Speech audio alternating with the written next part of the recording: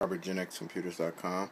Today we got a Toshiba satellite L675 S7052 and the problem with this laptop is that it was overheating and we replaced the fan on it put some new thermal paste on and we're running Prime 95 64 bit on it and it's been running for about I don't know 10 minutes or so and it's working just fine. Before it was shut down, what what, and we didn't have to do much of nothing, stress tests or nothing.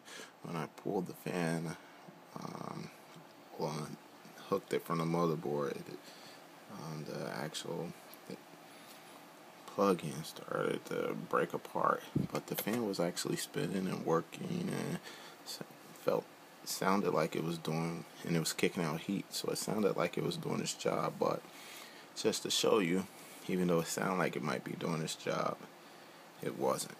So simply replacing the fan. There's instruction videos on how to take the laptop apart, not terribly that hard, and um, we'll do the trick. So if you got a Toshiba satellite L7, L675 model, and it's overheating, replace the fan, put some thermal paste on it, and call it a day.